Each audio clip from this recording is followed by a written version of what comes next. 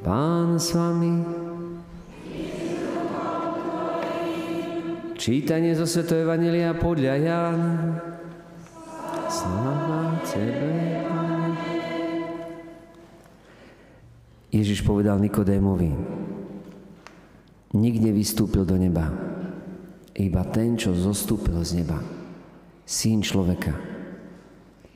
A ako Mojžiš vyzdvihol na púšti hada, tak musí byť vyzdvihnutý aj syn človeka, aby každý, kto verí, mal v ňom väčší život.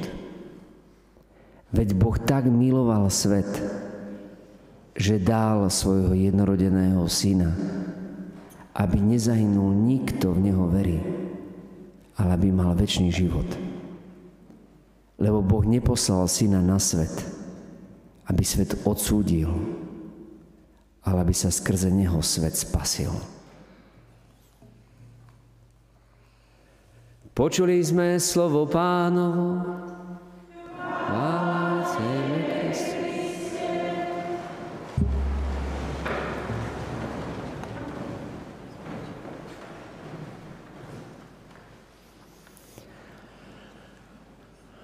Keď bol Jan Pavol II na Slovensku v roku 2003 a bol práve počas týchto dní, tak práve dnešný deň začína práve s tým Ave Crux, spes unika.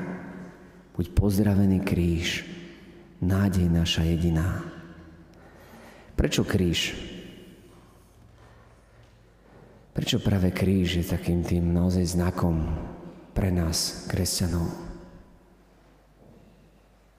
A keby som začal tak troška ináč, napadol taký jeden vtip, že malý Janko bol veľmi také hyperaktívne dieťa a nepočúval ani doma, ani v škole, tak ho prihlásili na cirkevnú školu. A prišiel tam a začal byť neskutočne poslušné dieťa. Vynikajúce známky nosil domov. Počúval všetkých, aj učiteľov, aj doma rodičov.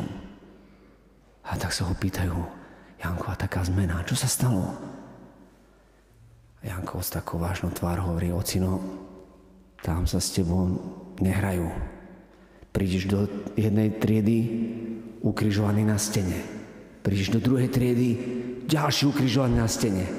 Ocino, tam sa s tebou nehrajú. Takže vlastne, pochopili ste?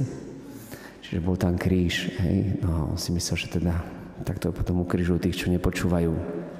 Pán Jež počúval. Jeden povedal, že keď chceš vidieť Božú veľkosť, tak choď do hôr alebo pozeraj na hviezdy. Ako hovorí jeden žalm, nebesia rozprávajú o sláve Boha a obloha hlása dielo jeho rúk. Deň dňu to dáva na známosť. Nie sú to slova, nie je to reč, ktorá by sa dala počuť. A potom zase, keď chceš vidieť Božú lásku, tak choď pod kríž. Znamenie záchrany ako taká pomocná ruka, ako otcova náruč. Kríž, ktorý stojí pevne, kým zem sa točí. Kríž, ktorý je tým pevným bodom vo vesmíre kde sa stretajú dejiny a kde sa všetko začína meniť práve od toho okamžiku. A pohľad na kríž, ktorý je uzdravujúci. Ako sme počuli, keď sa uhryzení od hadov pozerali na medeného hada, tak boli uzdravení. Keď sa my uhryzení od hriechu pozrieme na kríž, tak v tom momente sme uzdravení. V tom momente môže prísť naozaj tá lútosť z našej strany a povedať, Bože, prepač. Lebo vidíme, že láska nie je milovaná. Ako plakal svätý František. Keď sa na jednom mieste, tam, kde raz tak išiel a modlil sa, tak eh, si tak veľmi silno uvedomil, že Božia láska nie je milovaná. Tak plakal nad tým. že muž bolesti, že vlastne my sme lásku akoby zohavili. A to vidno na kríži. Ale zároveň tam vidno aj to jeho prijatie. Láska, ktorá výťazí. Ako keď Silva Krčmeril, keď bolo vyslúchali, vy, vypočúvali ho teraz komunisti a, a využívali všetku svoju moc a on hovorí, vy máte moc, ale my máme pravdu. A vôbec netúžime po tej moci, lebo aj tak pravda je silnejšia. A keby ste sa aj pokúsili umlčať, tak pravda vždy vstala a vstane z mŕtvych. No a to je práve to, keď hľadíme na kríž, tak vidíme naozaj to, že Boh sám je ten, ktorý ma zachraňuje od každého uhryznutia, kedy by som mal zomrieť. Riech je horší ako uhryznutie hadmi, lebo potom nasleduje smrť, ale väčšina smrť, nielen biologická. A preto pohľad na Kristov kríž je tým znamením. Neboj sa, ja ťa milujem, ja ťa zachránim. Je pravda, že potrebujeme jednu vec a to uveriť v lásku. Keď pozeráme na kríž, tak ver v lásku. Tedy ver to, že Božia láska je väčšia ako tvoj hriech. Že Boh ťa na kríži ti ukazuje, že ťa neodsudzuje. On odsúdil tvoj hriech. Odsúdil tvoje hriechy. Odsúdil všetko zlo. Teba zachraňuje. Teba miluje. Tebe dáva odpustenie ako prvý dar. Tebe ponúka zmierenie s Otcom.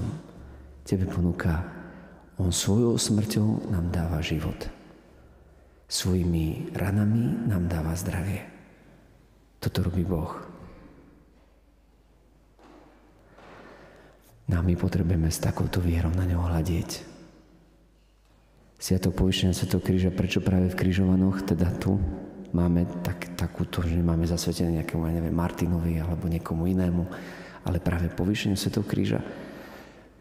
Možno, že niekedy to je Božej prozreteľnosti, keď sa by išlo aj naozaj do dejín a do tých začiatkov, tak naozaj práve niekedy, kde, ako hovorí Sveté písmo, kde sa roznožil hriech, tak tam sa rozhojnila aj Božia milosť.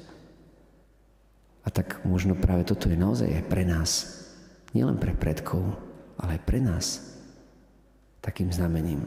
Možno aj na tomto mieste, kde žijeme. Ďakovať Bohu za jeho kríž. Byť vďačný za jeho kríž. A potom o, deti, zvlášť teda neviem, kde ste tu ešte ostatní, tam som videl vzadu, ako ešte. A tak my keď robíme kríže, tak robíme viaceré kríže. Viete, že teda keď ideme do kostola, tak ešte tam na začiatku vezmeme, tam je taká voda, svetená voda a vtedy sa preženáme. To vás budem ešte učiť, či sa viete dobre preženať. Dobre, to je prežehnanie. Potom pred Evangelium sme tiež robili krížiky, také menšie na čele, na ústach a na srdci. A znamená to, že Pane, otvoraj môj mysel, aby som počul a rozumel Tvojmu slovu, moje ústa, aby som ho ohlasoval a moje srdce, aby som ťa miloval. A potom si všimnite, na začiatku Sv. Omše začíname krížom a končíme tiež krížom. Kedy kniaz žehná, my sa preženávame vlastne tak, že robíme ten Kristov kríž na svojom vlastnom tele. Čiže naozaj modlitba akoby gestami, bez slov, je keď robíš znamenie kríža. A keď robíš s vierou, že Boh ťa zachráňa cez tento kríž, že On je vstupná brána aj dokonca do modlitby. Krížom akoby vstupuješ zrazu do svetine svetých a si pre tvárou Boha. Toto sa ti otvára nebo. To je kľúč do neba. Kristov kríž. Čiže vždy, keď sa prežehnáš už s vierou, tak ideš rovno, otváraš rovno nebo. A môžeš hovoriť so svojim otcom. Takže aj my dnešný deň vyzdvihneme Kristov kríž vo svojom živote. Božia láska je väčšia ako všetky naše hriechy. Boh nám ponúka odpustenie ako dar. toto ľudstvo potrebuje toto znamenie kríža. Tam sa ničí všetko zlo. To ako hromozvod, sa všetko zlo je zničené a kde prichádza uzdravenie, kde prichádza pokoj medzi nami a Bohom a medzi nami navzájom. Vždy skrze Kristov kríž môžeš zvíťaziť nad každým zlom. Amen.